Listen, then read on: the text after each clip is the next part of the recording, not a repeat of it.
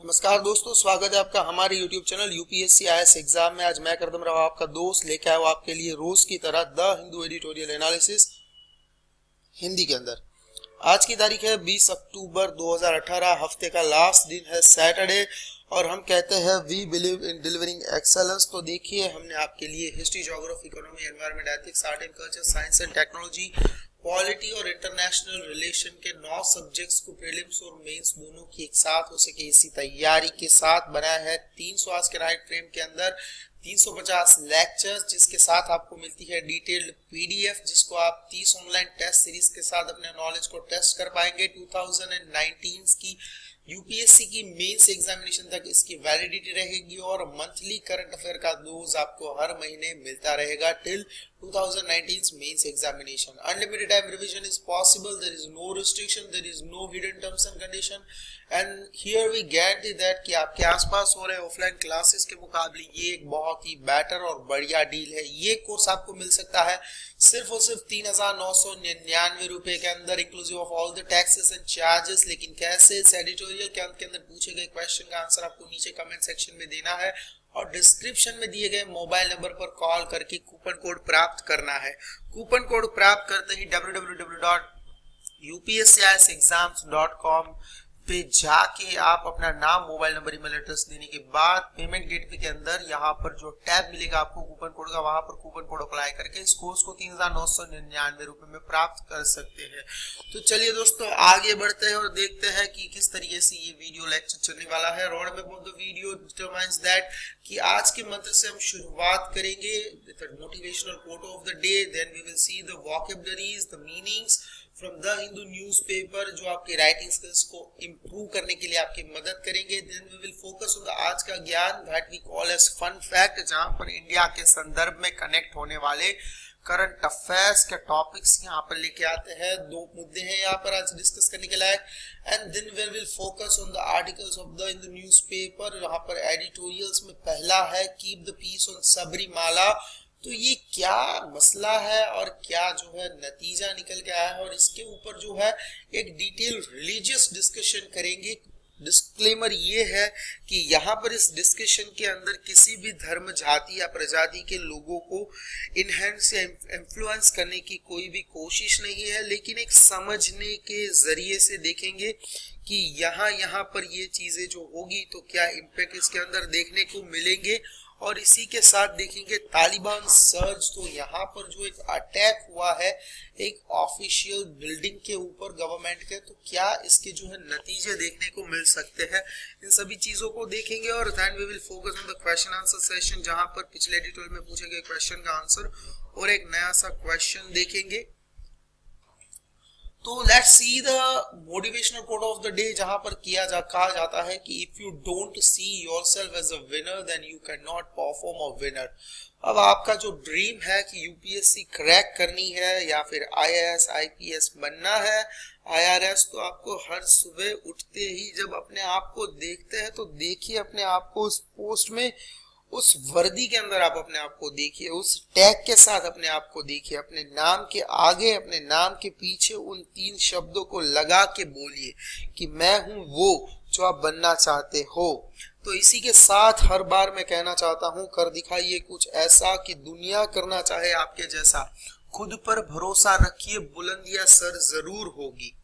आगे बढ़ते और देखते हैं वाकेबलरी जहाँ पर जो है इन शब्दों को उलट पुलट करके आप अपने ऐसे और आंसर राइटिंग में इस्तेमाल कर सकते हैं। इग्नोर के लिए आप कंडोन वर्ड यूज़ कर सकते हैं। कॉन्कर के लिए आप सरमाउंट वर्ड यूज़ कर सकते हैं। कलामनी के लिए आप ऑब्लोकी वर्ड यूज़ कर सकते हैं। यूनियन के लिए आप सॉलिडिटी वर्ड यूज़ कर सकते हैं। अनयील्ड के लिए आप हार्ड लाइन वर्ड यूज़ कर सकते हैं। वायलेंट लाइक स्ट्रोम के लिए आप स्ट्रोमी वर्ड यूज़ कर सकते हैं। रिस्पेक्ट के लिए हम एस्टीम वर्ड यूज़ करते हैं। इसको आप इजीली याद रख सकते हैं। मारुति सुजुकी की एक कार आया करती थी। उसी के साथ क्विकी के लिए आप एल्क्रिचस वर्ड यूज़ कर सकते हैं और टॉक फुलिशली के लिए आप लैबर वर्ड यूज़ कर सकते हैं। बूस्ट के लिए आप ब्रैग वर्ड यूज़ कर सकते हैं और इनको इस्तेमाल ज़रूर करें। नोट करते जाइए। रोज रोज इसको अपनी एक बुक बना के हो सके तो इसको अल्फाबेटिकल बुक बनाइए और उसके अंदर लिखिए। अब यहाँ पर देखते हैं क्या है आज का ज्ञान। तो पहले देखेंगे आईसीआईसीआई बैंक के ऊपर। क्या है नई सी न्यूज़? तो भाई आईसीआईसीआई बैंक जो थी वो रिसेंटली चर्चा में थी, लेकिन आईसीआईसीआई लिमिटेड जो है, ये होली ओन्ड सब्सिडरी है 1994 के अंदर बनी हुई। यहाँ पर industrial credit and investment corporation of India जो है वो 1955 में आया था। ये बहुत ही चौंका देगा आपको। क्या ये इतना पुराना है? जी हाँ ये बहुत ही पुराना है और ये एक ज्वाइंट वेंचर है वर्ल्ड बैंक के साथ। गवर्नमेंट ऑफ़ इंडिया का और representative of the Indian industry यहाँ पर जो यूनियन है, वो बनती थी, इससे बनी थी आईसीआईसीआई यानी कि government of India, Indian industry और वर्ल्ड बैंक के एक मिलन से बनी आईसीआईसीआई तो ये एक लिमिटेड कंपनी उस दौर में हुआ करती थी, जो एक बैंकिंग किस्म का काम करना चाहती थी।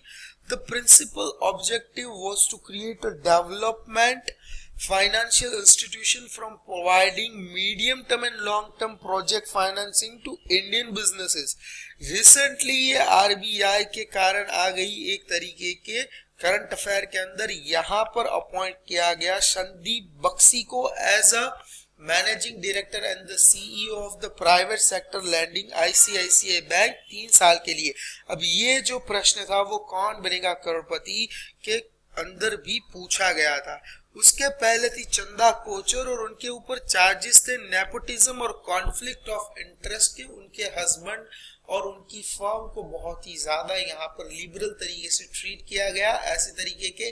और बैंक के एक बहुत ही ऊँचा आला होदे पर पहुँचने के बाद अगर आप फैमिली और अपने ब्लड रिलेशन को और रिलेटेड पार्टीज़ को अगर आप थोड़ा ज़्यादा प्रेफरेंस देते हो बीइंग अ सीईओ या फिर मैनेजिंग डायरेक्टर तो ये किताबों और कायदों के कानून के अनुसार आप जो है अपनी पदवी के साथ गद्दारी और बेईमानी कर रहे हो तो ऐसे चार्जेस के कारण मिस चंदा कोचर को यहाँ से अपना इस्तीफा देना पड़ा, छोड़ना पड़ा बैंक को।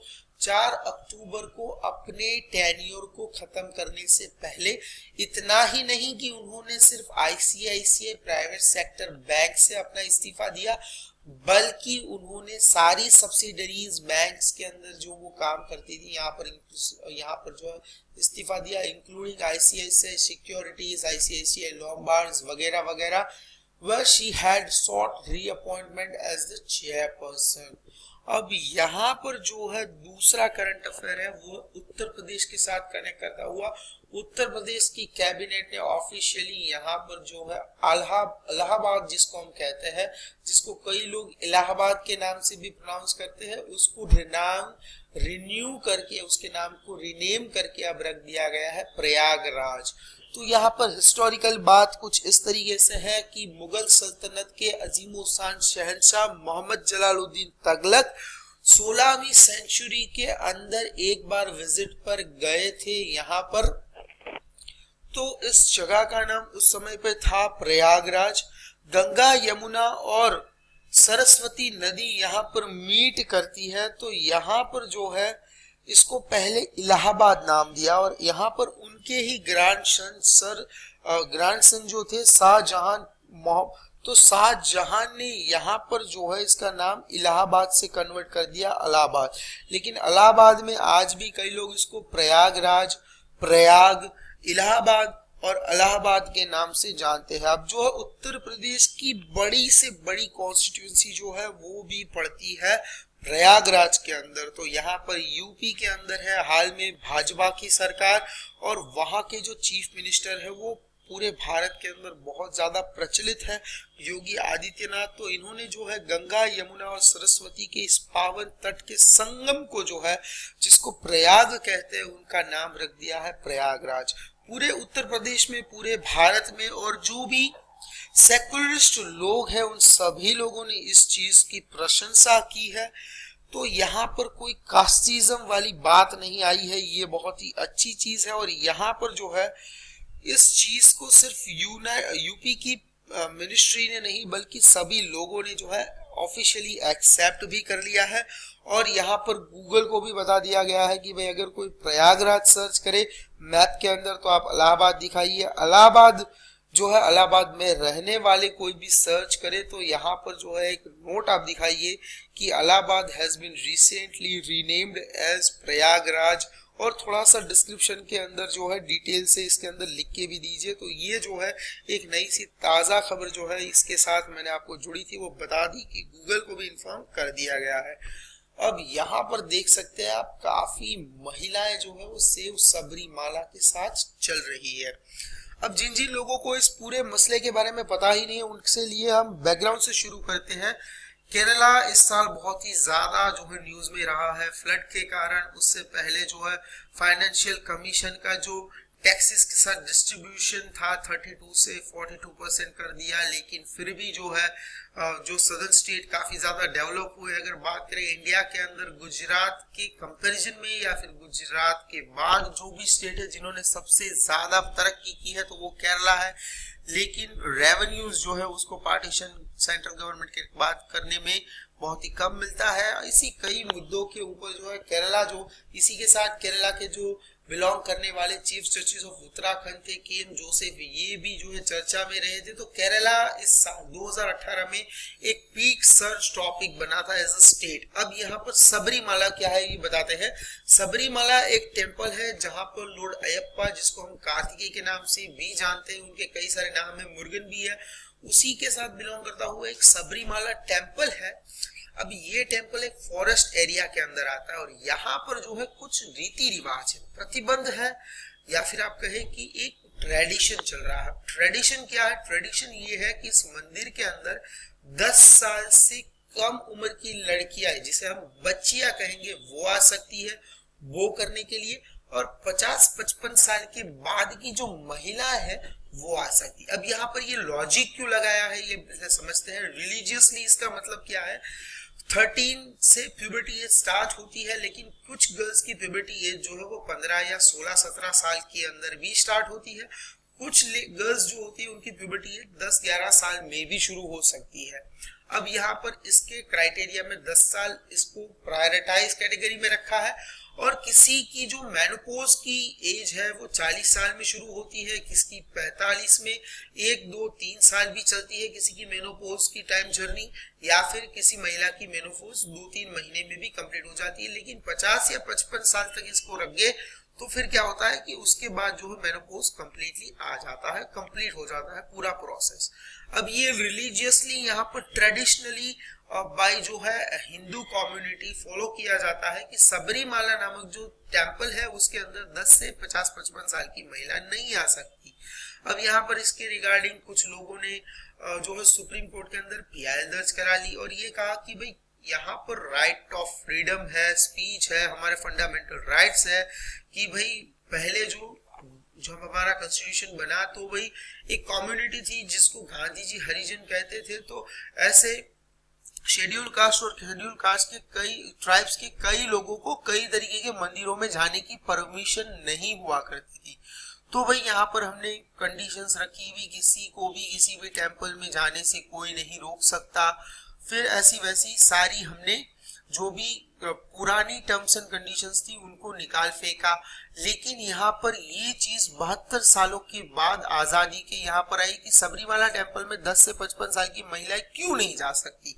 अब यहाँ पर सुप्रीम कोर्ट ने फंडामेंटल राइट को प्रोटेक्ट करने के लिए, क्योंकि सुप्रीम कोर्ट का जो प्राइम मोटिव है, वो यही है कि कॉन्स्टिट्यूशन की रक्षा करना और कॉन्स्टिट्यूशन में दिए गए आर्टिकल की रक्षा करना और यहाँ पर हर इंडिविजुअल हर सिटीजन के जो फंडामेंटल राइट्स है, उसको प्रोटेक्ट करना। अब यहाँ पर क्या हुआ कि सुप्रीम कोर्ट ने ऐसा कह दिया कि सबरीमाला में कोई भी जा सकता है। कोई भी का मतलब है 10 से 55 साल की महिलाएँ भी जा सकती है। अब यहाँ पर अलग अलग रिलीजन के साथ कंपेयर करके देखते हैं। सबसे पहले तो देखते हैं इस्लामिक रिलीजन के साथ। इस्लामिक रिलीजन में कहा गया है कि a male can marry four womens यानी कि चार बार शादी कर सकते हैं चार अलग अलग महिलाओं के साथ। अब समझिए कि आगे आने वाले समय के अंदर सुप्रीम कोर्ट ऐसी नोटिफिकेशन लाता है या फिर ऐसा लो प्रसार कर देता है, ऐसा बोल देता है वर्डिक दे देता है कि भाई, चाहे हिंदू हो, मुस्लिम हो, सिख हो, ईसाई हो, एक ही शादी परमिजिबल है। तो यहाँ पर क्या मुस्लिम लोग जो है वो इसके साथ कॉन्ट्राडिक्ट नहीं करेंगे इस्लामिक रूल्स करेंगे? That would be a question mark इसी के साथ जो है हम बात करते हैं सिख संप्रदाय के बारे में। अब सिख संप्रदाय के अंदर जो है वो रूल है कि आप जो है अपने सिर को, यानी कि जब बाल आपके नहीं दिखने चाहिए, सिर को ढक के मेल जो है वो वर्शिप करने जाएँगे। और इसी के अंदर, अब मेन प्रोविज़न तो ये है कि आपके कान भी ढके होने चाहिए, और महिलाओं के लिए तो ये स्ट्रिक है कि आपके बाल भी न दिखे, आपके कान भी न दिखे। अब ये जो है, आप वेरी होली प्लेस अमृतसर के विज़िट के ऊपर जाएँगे तो अगर आप दूसरी कम्युनिटी को बिलोंग करते हैं और वहाँ पर विज़िट करने के लिए जाते हैं तो भी आपको वहाँ के वॉलंटियर्स समझाएँगे कि जब आप पावन गर्भगुरु मंदिर के अंदर जाए, गुरु ग्रंथ साहब की यहाँ पर जब आप मत्था टेकने के लिए जाए तो आपको जो है ये अपने बाल जो है ढक लेने हैं। सिर के ऊपर चाहे वो कोई भी पगड़ी ना पहने तो कपड़ा पहन ले, टोपी जैसी चीज़ें आती है, वो पहन ले, लेकिन आप अपने बाल जो है बाँध ले। कान अगर खुले भी रह जाते हैं तो भी कोई बात नहीं, लेकिन बाल ज़रूर से बाँध ले। ये जो है ट्रेडिशन है सदियों से, सालों से चलता आ रहा है। अब कहीं जाके अगर सुप्रीम कोर्ट कह दे कि बाल खुले रखिए, भी आप जो है वो मत्था टेक सकते हैं, दर्शन पा सकते हैं तो ये क्या सही होगा? कई मंदिरों के अंदर जूते पहन के नहीं जा सकते। कई यानी कि ऑलमोस्ट सारे मंदिरों के अंदर हिंदू माइथोलॉजी में जूते पहन के नहीं जा सकते। और कई बार अगर बोल दिया गया सुप्रीम कोर्ट के द्वारा कि आप जो है जूते पहन के जा सकते हैं तो भाई क्या ये वर्डिक वैल्यू करेगा? तो नहीं करेगा। तो यहाँ पर जो है लोकल यहाँ पर जो प्रोटेस्ट हो रहे हैं वो ये है कि भाई, आप इस एज ग्रुप की महिलाओं को यहाँ पर जाने नहीं दे सकते। तो यहाँ पर जो है प्रोटेस्ट अलग अलग महिलाओं के द्वारा हो रहे हैं। 500 मीटर की जो रेंज होती है, वहाँ से ही जो है, इसको रोक दिया जाता है। इसके जो वर्डिक्स आए हैं सुप्रीम कोर्ट के द्वारा, उसको यहाँ पर वैल्यू नहीं दी जा रही है। ये जो है, वो एक्टिविस्ट के सामने जो आने वाले लोग हैं, उनका कहना है।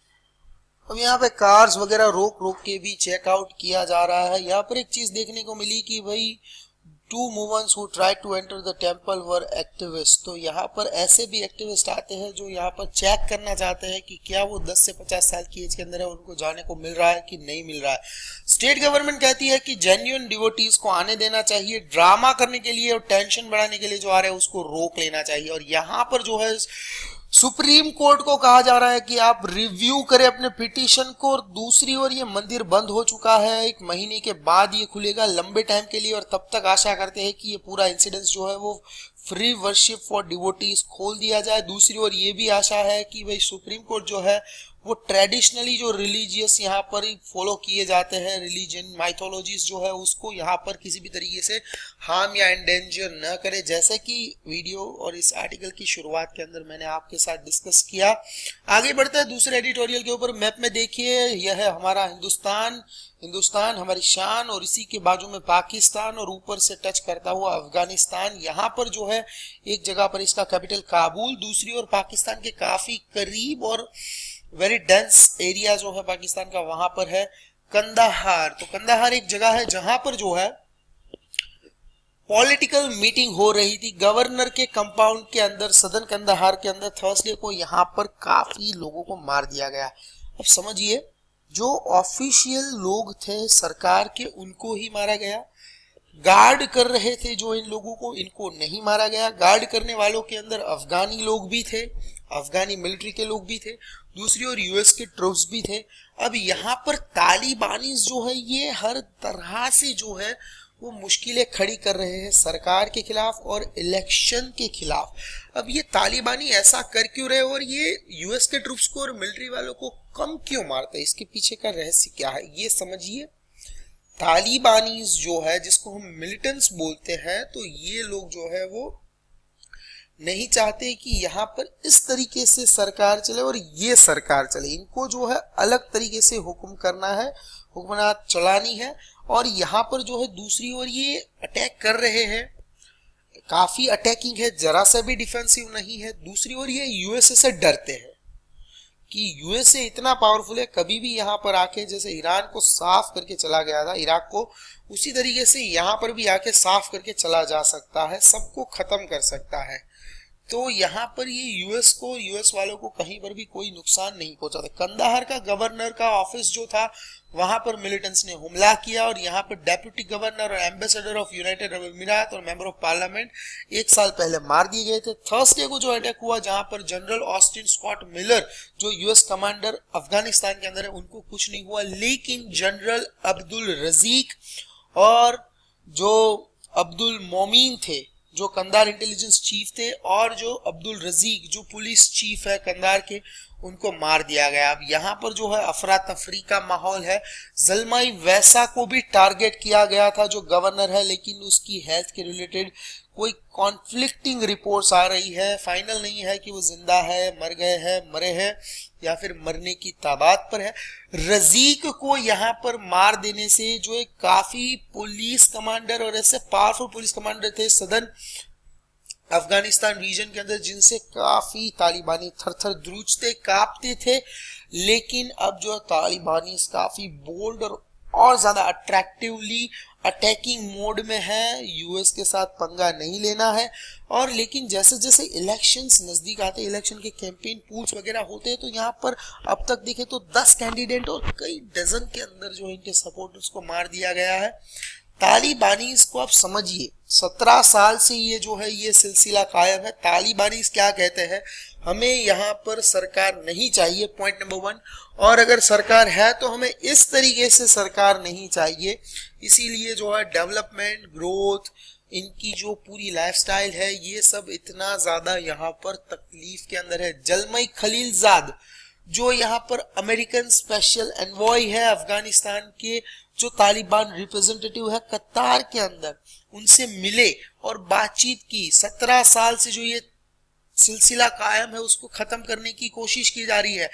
पाकिस्तान को भी यहाँ पर कहा गया कि आप भी कुछ करें, लेकिन यहाँ पर तालिबान को अगर रोकना है यूएस को तो उसको अफ़गानिस्तान की मिलिट्री को पावरफुल बनाना होगा, उनको एम्पावर करना होगा, तब जाके जो है सिलसिला शांति की ओर बनाया जा सकता है। कंधार अटैक सजेस्ट करता है कि ये जो है तालिबानी बहुत स्ट्रांग है। और यूएस और अफगान की गवर्नमेंट अफगान की आर्मी को मिलके इसको सॉल्व करना होगा। या तो अटैक करो, या फिर कम्युनिकेट करो, या फिर जो है ये ऐसे ही चलता रहेगा। अब जो है तालिबानी की अगर सेंट्रल जो इनकी मेंटालिटी है उनको समझ लिया गया तो इस पूरे इश्यू को जो है वो शांत किया जा सकता है।